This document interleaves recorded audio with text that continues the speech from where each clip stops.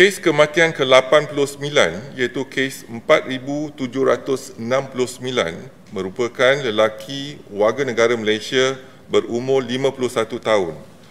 Beliau mempunyai latar belakang penyakit kencing manis, darah tinggi, penyakit jantung dan penyakit buah pinggang. Beliau mempunyai sejarah kontak rapat dengan kes positif COVID-19 iaitu kes ke-2726 Beliau telah dirawat di Hospital Encik Besar Hajah Kalsum, Johor pada 13 April 2020 dan disahkan meninggal dunia pada 18 April 2020 jam 6.49 petang. Kementerian Kesihatan mengucapkan takziah kepada ahli keluarga beliau.